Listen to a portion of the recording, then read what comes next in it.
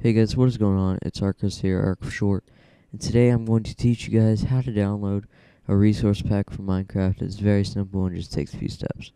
So what you're going to do is you're going to want to go to your internet browser choice and go into the search bar. I use Google Chrome.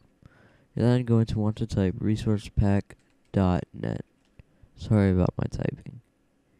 You're then just going to want to find a resource pack that is for 1.6 and above only. This will not work with versions below.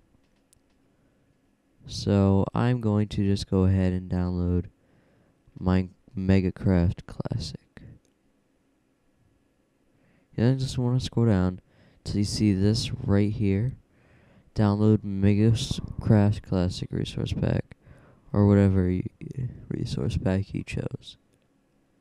It's then going to take you to a different site and your download will begin in a few seconds. As you see, my download has begun. And it's going to take just a few seconds to minutes to download, so I'll be back.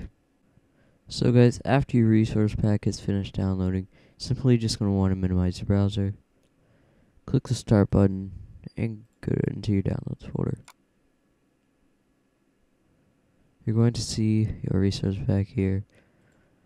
And you're simply just going to want to go into your start browser again, keep this tab open, and type in percent app data percent. Then you'll want to go into your .minecraft folder. Go into resource packs.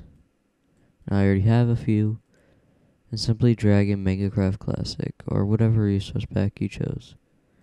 And then go into exit both folders and you can close your browser. Then You're going to want to open Minecraft.